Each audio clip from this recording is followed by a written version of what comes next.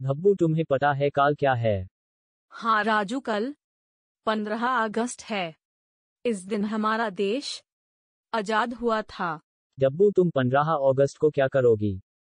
राजू पंद्रह अगस्त को हम लोग अपनी छात पे झंडा लगाएँगे तुम क्या करोगे? हम लोग भी अपनी छात पे झंडा लगाएँगे। राजू तुम्हें पंद्रह अगस्त की हार्दिक शुभकामनाएँ जय हिंद। डब्बू तुम्हें भी पंद्रह अगस्त की हार्दिक शुभकामनाएँ। और आप सभी को भी हार्दिक शुभकामनाएँ।